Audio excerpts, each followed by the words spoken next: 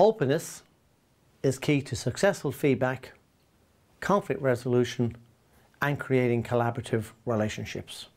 If you don't have feedback, there's a real danger you'll create cliques and moaning circles in your team. Over here, I've got some cards. And if I said to this person over here, what do you see?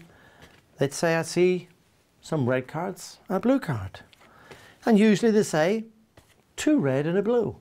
I would say back, well, that's your perception, but I have one, two, three, four cards. I might then say to somebody over here, what do you notice? And they might say, well, we see more blue cards. I see three blue cards and only one red card. Now, if this person over here runs that thinking, the way I see the world is the way the world is, and that person over there runs that same thinking, the way I see the world is the way the world is, what's going to happen between those two people? Bit of a row, bit of an argument. And the interesting thing is, neither of them saw what was really there. You'll have your truth. Do not confuse it with the truth. You will have your opinion do not confuse that with reality. And that's what we're inclined to do. We're inclined to think my view on the world is the right one. Imagine looking at your back garden. Somebody from the upstairs bedroom window, somebody from the kitchen, somebody from the basement. Are all the views the same? Of course not. Which view is right? They're all right. Well, why do we argue so much? Because you see, when we argue, we have fallen into that trap I'm right, you're wrong. Crippled by the strong belief my view is always right. Crippled by the strong belief my view is always right. You see, the downside of arguing is you stay locked in your narrow view on the world. You're not taking into account the wider perspectives. You're staying there. Wisdom comes from having those multiple perspectives. Harry Potter, the biggest selling book after the Bible, I'm told, turned down by all the major book publishers who sat around tables. Do we publish this? Have you read it? This is so OTT. They were totally convinced their view was right and refused to publish. Mr. Daimler of the motor car company, beginning of last century, he said, the motor car will never catch on because there won't be enough chauffeurs totally convinced he was right. You see, if I show you my hand and I say, what do you see? You might say, well, I see some fingernails. No, there's no fingernails there. And you might say, well, I see hairs. No, there's no hairs.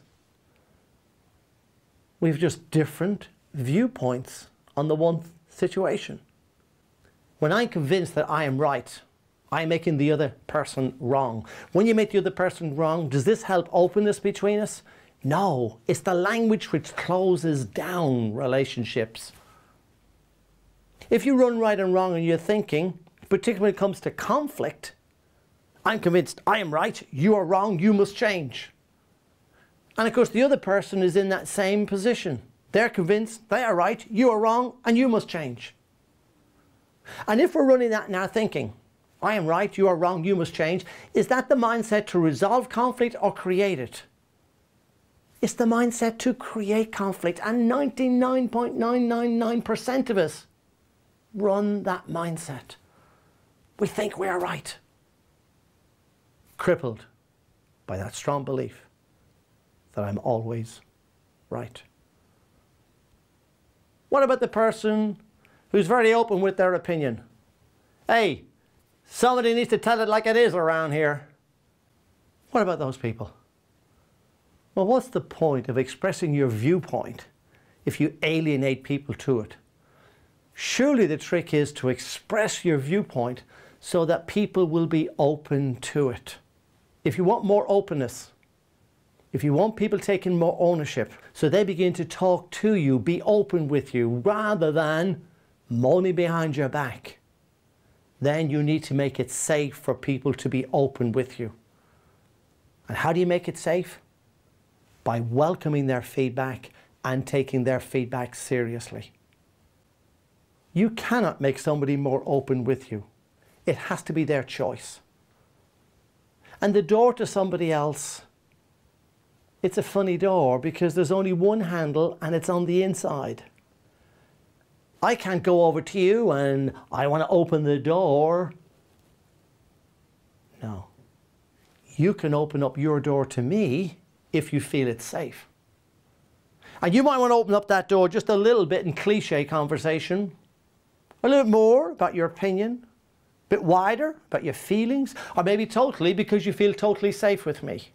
To what extent people will open the door to themselves depends on what they perceive to be out there. And if they feel it to be cynical, put downish, judgmental, guess what? They're going to keep that pretty closed. To make your place of work an even better place to work, make it safe for people to be open. Welcome their feedback and take their feedback seriously. And maybe the greatest kindness I can offer somebody is my truth.